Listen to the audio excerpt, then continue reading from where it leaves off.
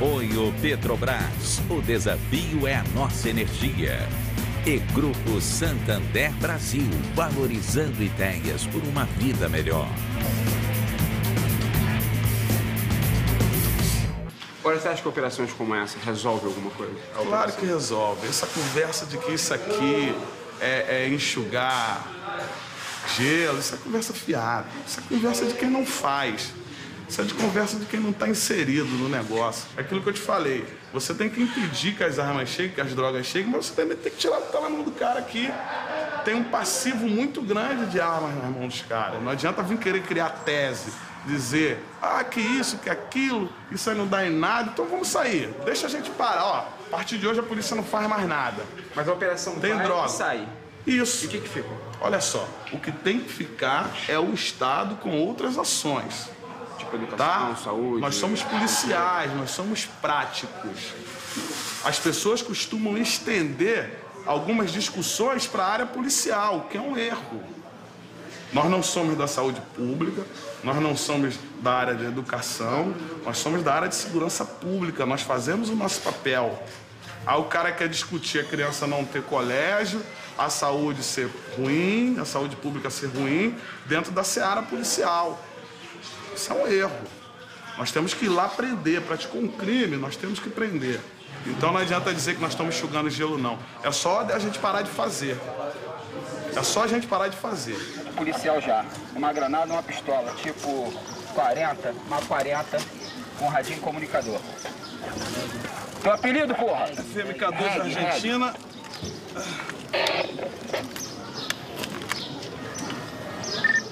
Cabeça, cabeça. Você que tá achando que tá tudo o- calmo, nunca tá tudo o- calmo. Fado, o fado, o reggae, o reggae. Do jeito que ele foi surpreendido, poderia ter jogado a granada, dado um montão de tiro. E a gente já tá quanto tempo andando? Umas duas horas? Não. Calmo, sem tiro. Duas horas depois, é isso, é preso, mas outro é preso. Você acha que hoje a violência é maior ou é menor? Pô, o tráfico se fortaleceu muito.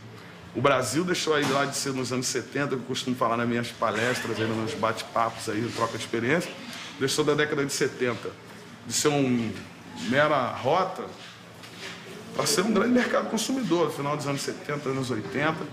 E isso aí se arrastou até os anos 90. Se tratando de tráfico de arma, por exemplo, o boom foi nos anos 90. Então, mas só que nos anos 90, no início, por exemplo, nós ainda tínhamos alguns bandidos que tinham controle sobre a situação.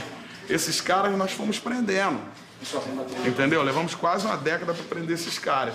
Da metade da década de 90 para cá já começou uma garotada sem controle. Tá? E hoje a gente está conseguindo retomar isso.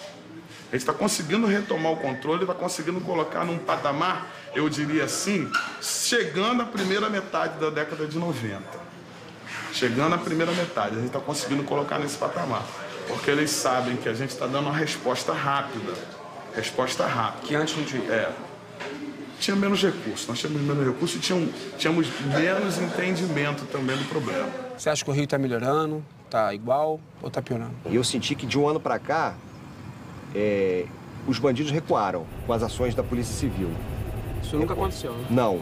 A- a- a- de um, e nesse um ano, né, é, no ano passado para trás, a, a coisa parece que vinha piorando. E houve uma mudança, houve uma inversão. Não estão encarando mais. Não estou encarando mais. Não estou encarando. Quando vem, o tiro vem de longe e a gente não vê de onde veio, porque também, se a gente vir, a coisa vai ficar estranha para eles. Eles sabem disso. Alan, 201 anos depois de fundação da Polícia Civil, o que que mudou? A mudança principal da Polícia Civil é ela perceber que a função dela não é só o combate ao tráfico, combate àqueles, àqueles crimes comuns. Hoje a gente está pensando já em qualificar nossa investigação, trabalhar naqueles verdadeiros gangsters que são aqueles que lavam dinheiro, desviam dinheiro público, enfim, trocando um pouco o foco desse combate àquele crime tradicional para um crime mais moderno, atingindo todas as classes sociais.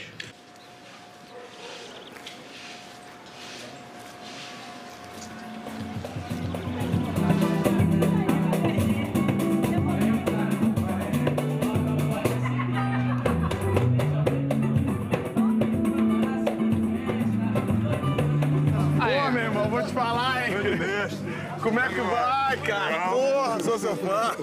Estranho, mãe. Onde está a relação verdade e fato?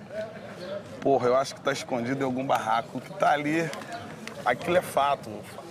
O Oliveira fazendo um rap, acho que mostra de forma concreta, né? dentro dos fatos, como ele gosta de falar, que pô, a sociedade mudou, acho que a polícia está mudando, acho que eu também estou mudando. Olho pro lado, mãe, Nada me agrada. eu olho pra frente, Tudo me abala eu olho pra trás, mãe. pra não levar bala. Eu acho que quando tem um pouco dessa consciência, acho que a mudança é inevitável, né? Nós somos inteligentes. Você pensa em mudar o mundo? Eu tenho plena consciência que, caso a caso, eu posso fazer com que o mundo melhore. Caso a caso. No programa da semana que vem, o Conexões traz o outro lado dessa história. O que os bandidos acham da violência urbana. Até lá! Apoio Petrobras. O desafio é a nossa energia. E Grupo Santander Brasil, valorizando ideias por uma vida melhor.